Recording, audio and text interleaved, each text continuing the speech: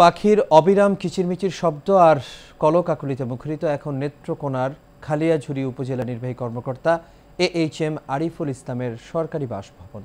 এ যেন এক অতিথি পাখি নিরাপদ অভয়াশ্রম। খালিয়াঝুরি উপজেলা নির্বাহী কর্মকর্তার সরকারি বাসভবনের চারপাশে বিভিন্ন গাছের ডালে বাসা বেঁধেছে কয়েক হাজার পানকৌড়ি আর বক।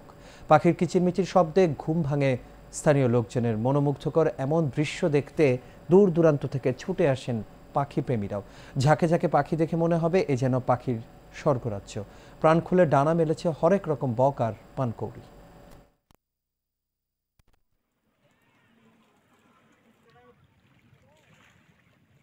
আহরে অনেক জায়গাতে হওয়ার পরেও সন্ধ্যাবেলা এই এখানে পাখি থাকে। কিছুদিন আগে একটা ঝড় হয়েছিল, সেই ঝড়ে প্রায় সত্তর থেকে আশিটি পাখির বাচ্চা কিন্তু আমাদের এখানে পড়ে গেছে। তো এর মধ্যে কিছু বাচ্চা বেঁচে ছিল সেগুলিকে আমরা আবার বাজার থেকে কিছু মাছ নিয়ে এসে বা এখান থেকে পাখি খাওয়ানোর সময় কিছু মাছ নিচে পড়ে, তো সেগুলি আমরা খাইয়ে কিন্তু বড় করে কিন্তু আবার সেগুলিকে আমরা ছেড়ে দিয়েছি।